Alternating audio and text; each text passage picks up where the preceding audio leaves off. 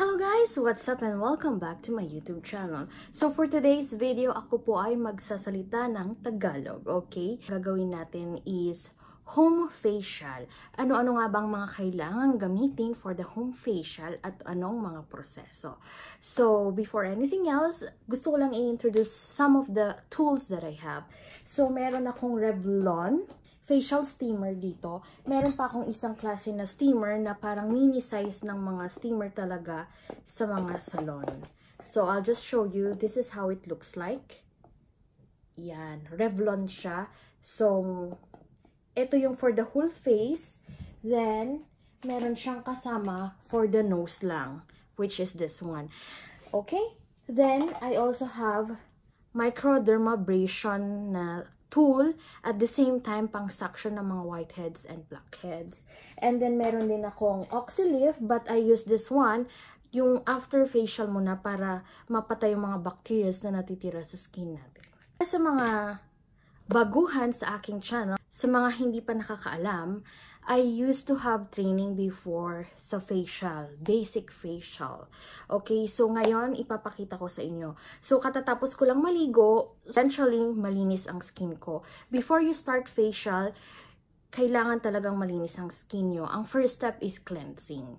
So I use St. Ives na facial scrub na anti uh, and yung goat milk na facial cleanser ko. Then after that, magfa-facial steam supposed to be. But I have a, I think I can say na makinis naman kahit papano ang skin ko. So, wala naman din ako masyadong whiteheads and blackheads. Normally, sa nose ko lang talaga. So, meron akong naka-ready ditong hot na makeup towel. So, i-steam lang natin ng konti yung nose part. But for those uh, good skin naman na katulad ko, kapag magsisteam kayo at your home, dapat at least 7 minutes ang minimum. Huwag sosobrahan kasi syempre magiging dry naman na ang face natin. So, i-zoom in ko lang ang aking face para makita ninyo kung ano nga ba ang meron sa aking face. So, just to let you know, I have combination to oily skin. So, kung makikita nyo, may bagong lumabas na pimple dito Kanina puti na yan nung bago ko maligo. May dark spot ako dito. Then, may mga blemish rin ako dito na pinapagaling ko using the Doctor's Fred na skin whitener. Yan, naging okay na siya. Ang problema kasi ng skin ko, kapag nagpre-prick ako on my own, after that, nagiging dark spot siya. So, meron din dito. Then, ito, I don't know what exactly kung anong tawag dito. Is it sun damage, hyperpigmentation? So, meron ako ditong chicken box na um, peklat. Meron din ako dito. Tsaka somewhere dito. Yes, this one. Kung nakikita nyo. Yan, andito. Meron dito. And I think between dito meron din. So, ayan, tumutubo na yung eyebrows ko. So, dito before, I have lots of white little bumps here. Pero hindi ko alam kung anong nakapagpatanggal kasi may mga panghilamos akong tinatry. Eventually, nawala na siya. So, makinis na siya kahit papano. Then, dito lang, yan, makikita nyo, mga white heads and blackheads. So, tapos na tayo mag-cleansing and steaming. So, gamit lang tayo ng any hairband para yung hair natin eh hindi maano sa face natin. Usually do this after I take a bath. And kapag hindi na ako lalabas. So, then meron akong of course mirror na talagang makikita ko yung mga whiteheads and blackheads ko. So, may mga binili rin ako sa yesstyle.com. If you know that, it's a, a website wherein lahat is Korean brands.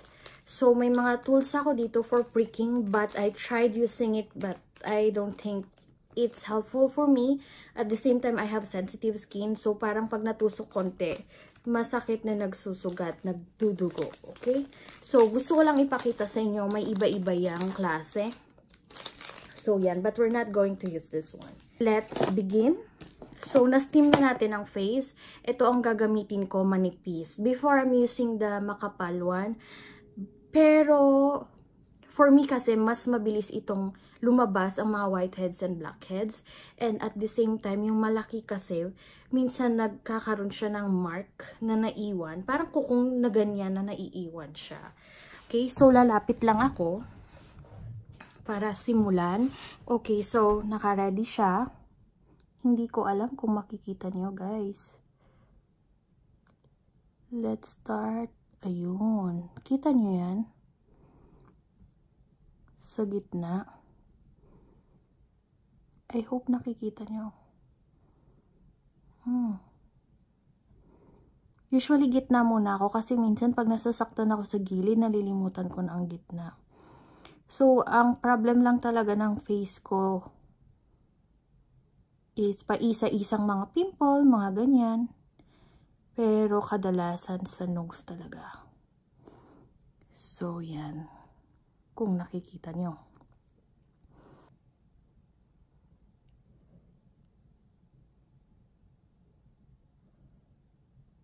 So, yan. Lumalabas siya. Mas maganda rin na may maliwanag kayong ilaw. Sa ngayon, wala akong maliwanag na ilaw. Pero nakikita ko naman using this mirror. Kahit saan mabibili nyo ito. Dahil 'di ba sikat na sikat nang mag-prick. For me, advisable for me, para sa akin, mas maganda ang prosesong ito.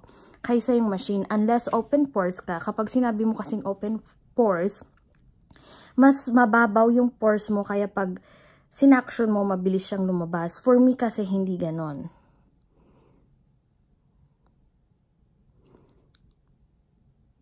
Ayan. So, namumula na, nagsistart na namumula ang aking ilong. That's normal, guys. Hindi siya, porke piniprick mo, eh, masakit na. Depende yan. Oo, masakit siya.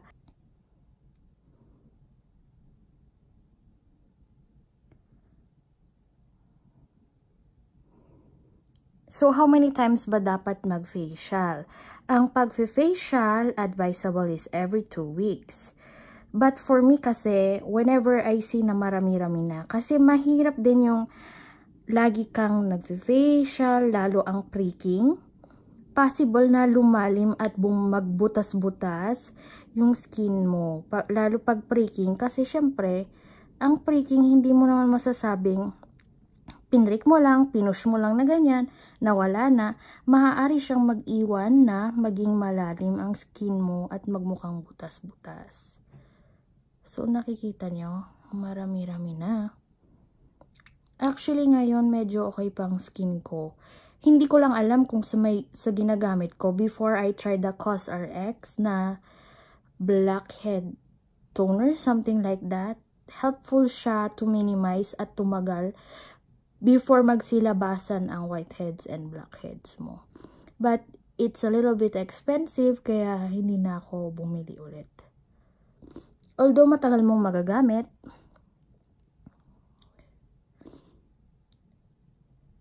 minsan sisipunin ka guys sa mga ganito.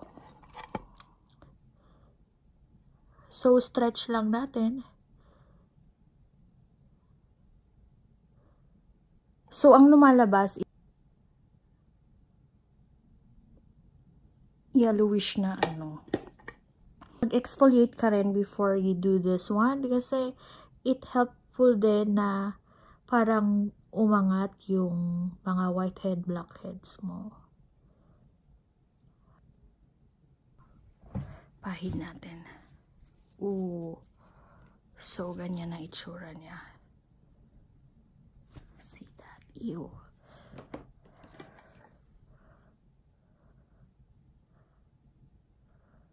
Ang style ko minsan, hindi ko yan ginaganyan. Mismo na nasa gitna yung whitehead or blackhead or pimple.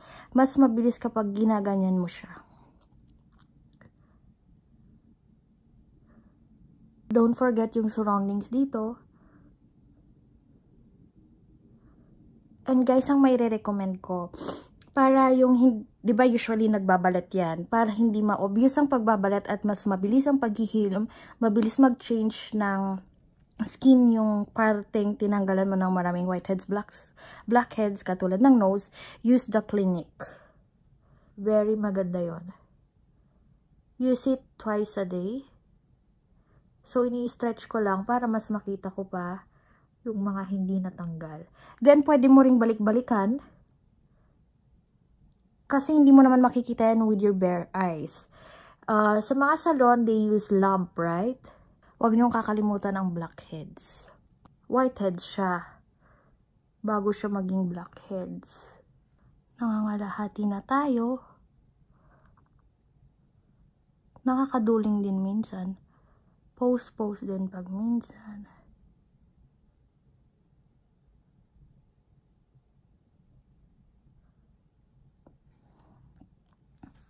Okay, makikita nyo clearer na siya. Then, pag tapos nito, mafe-feel yung medyo, mag, uh, ano siya, mamamaga, pero mafe-feel yung malinis.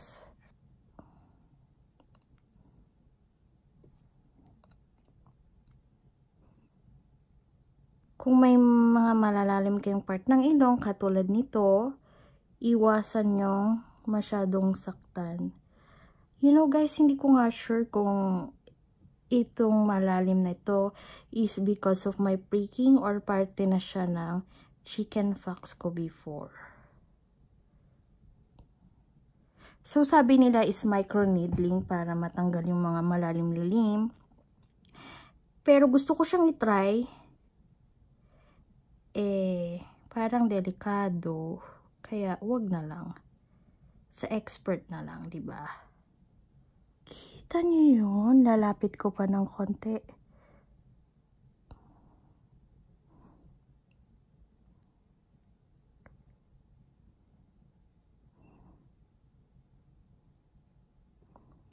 Gross lang guys, pero ang saya ng pakiramdam once na nalinisan mo na. Kakapagod lang.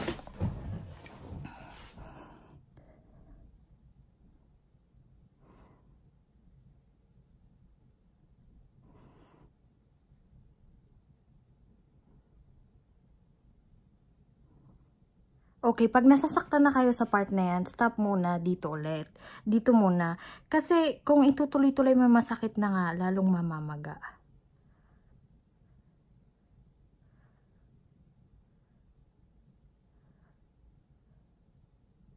Ayan.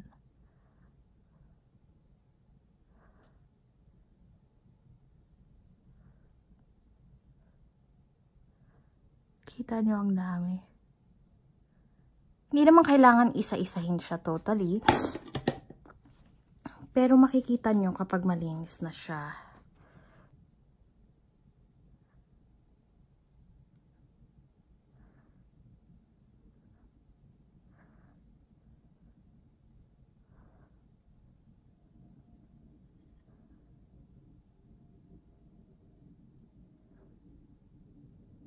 So, nagdala ako ng light sa tabi ko para mas bumilis, 'di ba guys? Sakit na ng ilong ko. Pero tiis ganda nga, 'di ba guys? Normal lang yung skin ko na mamula.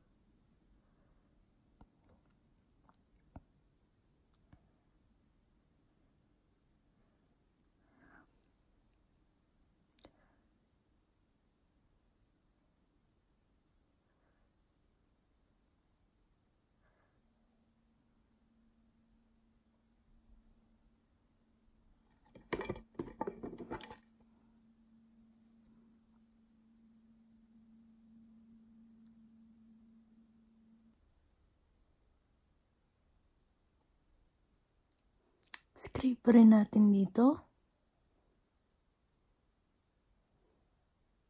Mas mabilis siyang tanggalin pag pataas.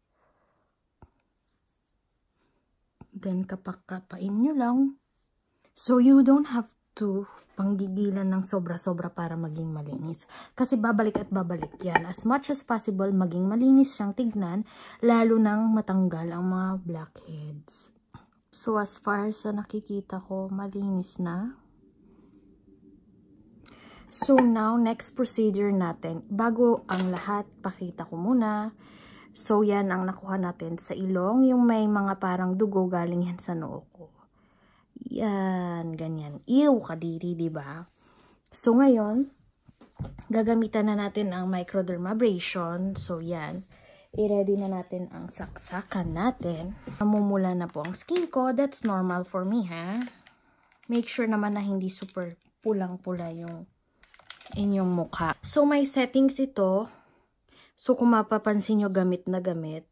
So, level 1, 2, 3. So, dito is kung ilang minutes. Usually, ang buong face ko, since I have a sensitive skin, is 5 to 7 minutes lang. The whole face na yon. Then, dito, start and stop. Start and pause. So, nandito, sa lalagyan na ito, yung mga tips niya, ito yung refill niya, kung saan kailangan na pala natin palitan siya ang hihigop ng mga alikabok or dead skin mo. So, may iba-iba tayong tips. Meron yung pang suction, pero as I've told you, sa akin hindi to effective. So, may malaki, may maliit, may pabilog. Yan. Then, meron din tayong 3 different tips for the microdermabrasion. Para sa skin type ko, yung pinakamanipis ang kinukuha ko, pero sometimes I don't feel na nalinisan siya. So, ang ginagamit ko is yung needle na medyo magaspang. So, yung refill, pupunta nyo dito sa first. So, napitpit ko na siya. Then, next ito. Okay, so may blue light siya. So, before mo simulan, meron ka pang ilalagay which is this kind of tip na meron ka ulit ilalagay na pangsalo niya which is this one. So, ilagay natin para buksan mo siya. Yan, dito mo siya ilalagay. Then, ganyan. Itong machine na to, you can buy anywhere. Sa mga online, Amazon, Lazada, kahit saan makikita mo. Yan. Then, put it here, just on top. Just like that. Then, pili na tayo ng tip. Huwag yung masyadong, syempre papakiramdaman mo kung anong tip. So yan, ito, just put it like that. Okay, slowly, slowly. Let's begin. So, sab sabi nila, dapat upper motion lahat. But, sa naranasan ko, guys, mas maganda ang pababa. Kasi ito, kinikis-kis mo yung skin mo. Kasi pag pababa, for me, for my own opinion, mas nakakaskas maigi kaysa yung upwards motion. So, I'll show you, level 3 ang ginamit ko. 12, 12, ganyan pala dapat. 12 yan ha, hindi yan 15. 12 minutes yan, pero for sure, 5 to 7 minutes lang. Okay? So, simulan natin sa ilong ko. Oopsie dapat slow motion. Slow motion, I mean to say, small strokes. Huwag sobrahan. Tanda ng sobra ay hindi maganda. Basta mapadaanan, no? Huwag nyo rin tatagalan. Kasi ginawa ko yan before, tinagalan ko. Para siyang nagkapasa. Kasi syempre, habang ginaganyan mo, nagsasuction siya.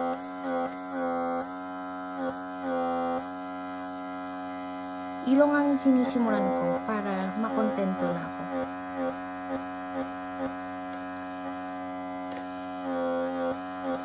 So, pwede mo rin i-stretch yung skin mo.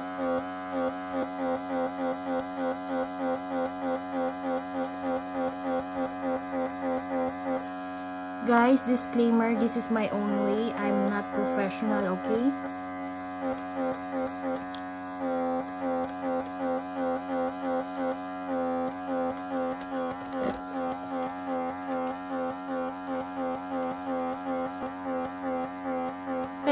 Pagma-microdermabrasion ko ay hindi madalas.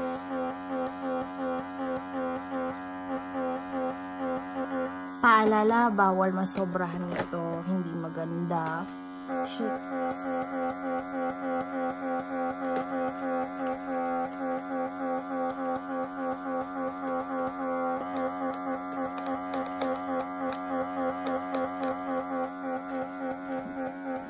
So, mapapansin nyo naman kung nabalata na siya kasi mamumuti siya. So, usually ang tawag dito sa labas is diamond peel, right? Yung iba ganyan. You can do that. But for me, the easy way, easiest way, way for me is like this. Kasi nga, mas nasa-scrape niya ng mabilis. Kung napansin nyo, yung scar kong to, mas ginaganyan ko para lang matanggal yung pinaka-top layer niya. Para mabilis siyang magpalit. Huwag nyong i-scrape ang eye bags nyo ha. Very sensitive yan.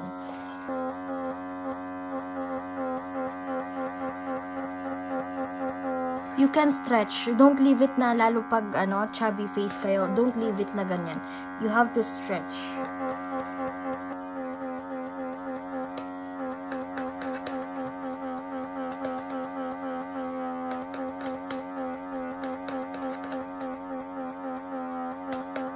Pero kapag ginagawa ko to sa family ko, of course, kung ano talaga yung tamang way.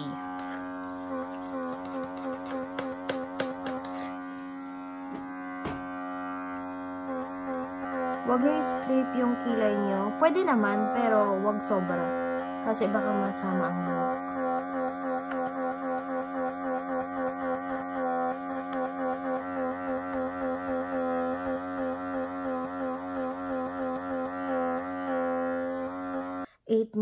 buhok. minutes nating microdermabrasion. So, I can feel it na ako na siya. Kung gusto nyo, isama yung leg. But for me, I don't feel like. I don't feel like. Kasi medyo sensitive. Wag na, okay? So, yan.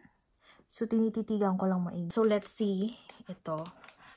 Kung gaano karami ang nakuskus. Oo, naisama yung buhok ko, sabi ko eh. So, yan. So, yan siya. Namumuti, ba? Yan. So, talagang mapulbos. So, pag tinanggal ko pa tong takip, oops. So, yan siya. Mapulbos siya, girl. Yan.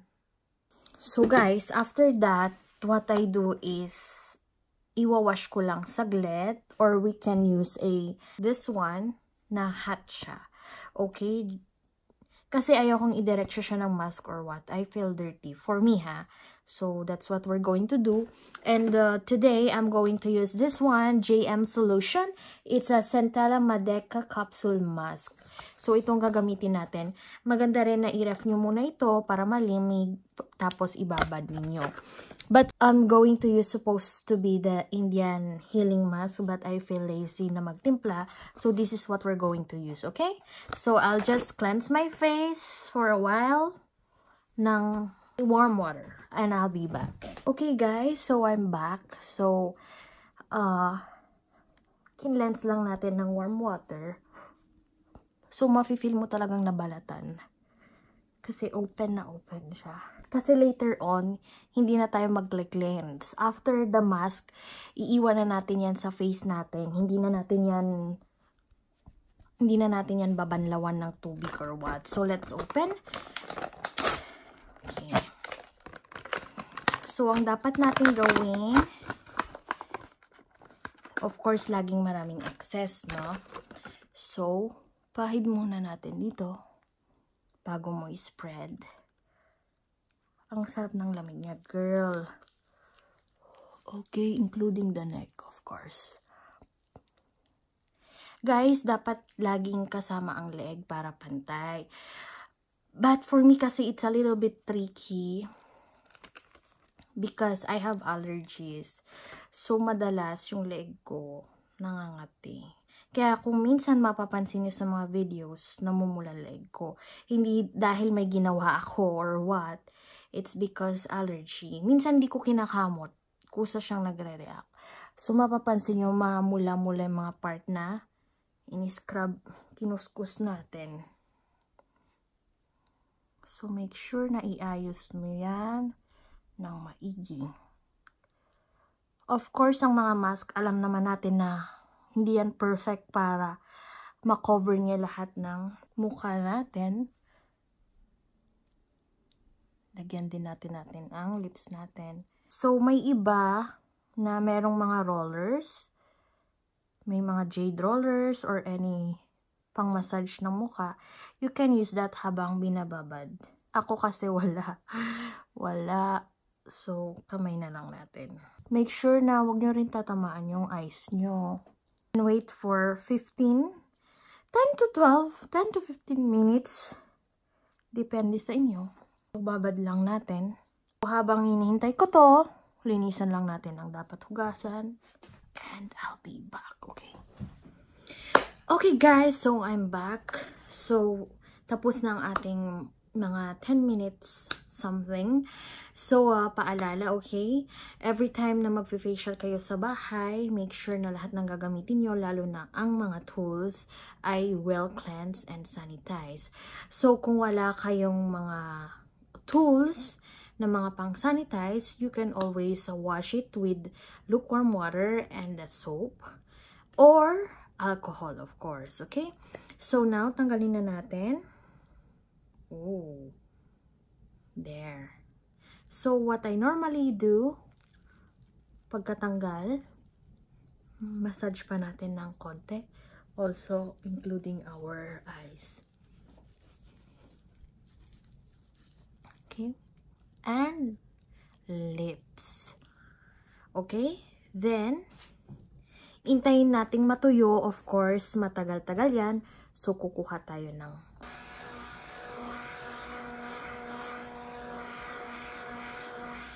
Ang sarap ng pakiramdam. Okay, now, medyo basa pa, ano? So, let's add this one from the Nature Republic Soothing and Moisture Aloe Vera 92% Soothing Gel. Kasi alam naman natin na bagong microdermabrasion tayo. So, natanggal ang topmost layer ng ating skin. So, we're going to add this one para lalo siyang ma-relax aside from the mask. This one, you can use it as a mask also. So, mafe-feel nyo yung skin nyo na parang burog siya. Kasi nga, natanggal yung top layer. So, massage, massage. Let's add more. Depende sa inyo kung gaano karami. And all over the neck. So, may mga parte rin na mahapdi na siya. That's normal. Iwasan nyo lang na maarawan, lalo pag bagong facial kayo. Kasi syempre, open siya. Mas mabilis siyang mag stick sa skin nyo. Magsisink in kagad yung damage kapag ganon. Then habang naghihintay, we can add para sa ating lips, Laneige. My favorite special care lip sleeping mask in the flavor berry. Pag matutulog ako, gaya ngayon, dinadamihan ko. So, medyo malagkit siya. So, usually yung iba, after mask, cleanse. Pero, napatunayan na mas healthy, mas maganda na iwan nyo lang sa face nyo yung vitamins ng mask, mas maging effective siya. So, supposed to be toner, no? So, tapos na tayo mag aloe vera. Makati ang lalamunan ko. So, next is ang ating Dr. Fred Summit Skin Whitener Tone and Bleach Cream. So, kahit bagong facial mo, yan, lagyan natin yung mga parteng may dark spot ka. So, konti-konti, then i-build mo. Hindi kailangan marami. So, naubos lang aking touch na ginagamit for my face. So, mag-proceed na tayo ngayon sa clinic. Dramatically, different moisturizing lotion plus emulsion hydratant. So, yan. Ang sinasabi ko sa inyo na maganda kapag nagbabalat ng skin nyo. This is actually for very dry to dry combination skin but I have a combination to oil skin. I'm just using this one sa mga ganitong bagay. Pero since hindi naman porke combination to oil skin ka, hindi ka na pwedeng gumamit ng mga hydration na product. Hindi naman. You always have to balance. So, kung napansin nyo, T-zone lang. Ang nilagyan ko, then yung excess, yan, i-spread mo na lang. And lastly, hindi mawawala ang ating Enlighten Cloud Cream all over our face. So, kapag araw ka nag-facial sa bahay or sa labas, don't forget to put sunscreen, okay?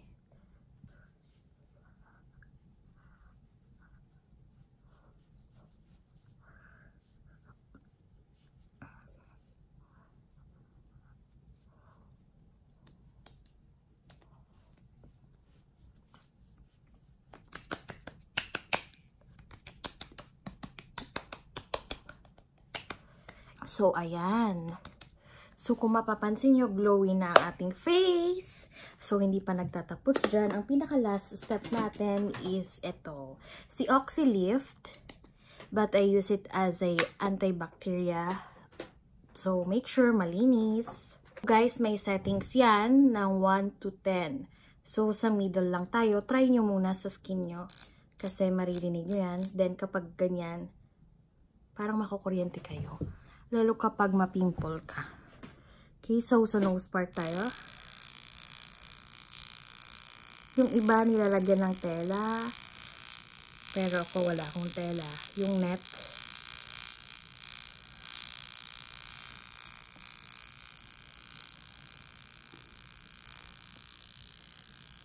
Lalo yung area na nilinisan natin. Mga whiteheads, blackheads. So kung mapapansin nyo, mabalbon na naman ako may may bigote na ako. At kumapal ng kilay ko magpapatreading ako kapag may time. Okay sa procedure na ito left tayo. So make sure na kapag gagamit kayo ng ganito yung cream nyo hindi pa tuyo para maganda ang gliding uh circular motion. Okay, padaanan din natin ang kilay.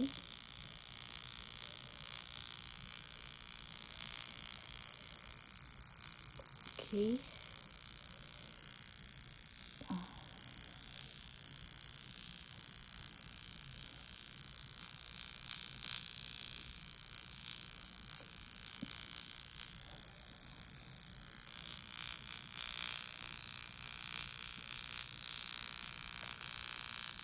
Kapag ginanyan nyo, na hindi tatama sa skin, masakit. May kuryente.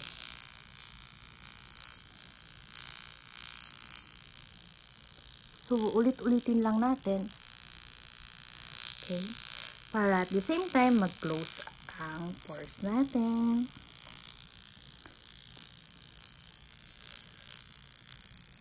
Okay, sama na natin ang neck.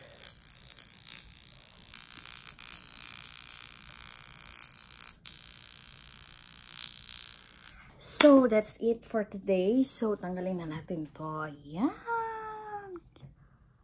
So, ganyan lang natin. So, kung may mapapansin kang namumuti-muti, si Enlighten yan, ha? So, yan na ang skin natin. So, I hope you enjoyed this video. I really hope na very helpful rin itong video na ito, nakatulong sa inyo. You can always buy online or anything, but make sure na yung quality rin ng product, hindi lang porke mura, yung mga tools ng mga steamer and so on and so forth. Meron din ibang mga paraan for the steamer, mga hot towel, or kuha ka lang ng parang batya mo na mainit ang tubig, then towel, then magpainit ka ng face doon. Or after mo maligo, ang pagliligo natin ng warm water, yung heat ng katawan natin, then yung heat ng water, nakaka-steam yun. Kaya ganun ang minsan ang ginagawa ko kapag, minsan kasi time consuming ang steam, pero helpful siya to open the pores. But for me kasi, iba ang skin ko kahit nag steam na ako, sometimes hirap pa rin kunin yung mga blackheads. Kailangan prick talaga. So, ayan, kailangan natin magpa-threading ng kilay at magpatanggal ng kote. So, I hope you like this video. As you can see, glowy na ang aking skin, no? I really like it and love it. I can't wait for tomorrow. Kasi tomorrow, pagising mo, talagang mas makinis at glowing na yan. Kasi nakapagpahinga na siya. Okay? So, I hope you enjoyed this video. Don't forget to like, comment down below, and share this video. And don't forget to subscribe to my channel. Please subscribe to my channel. And for more videos, for more makeup tutorials, cooking, and so on and so forth, you can check my channel at Anna Eralim. So, A-N-N-A E-R-A-L-L-I-M. So, Anna Eralim, okay? So, please don't forget to subscribe and thank you again and I'll see you on my next one. Bye!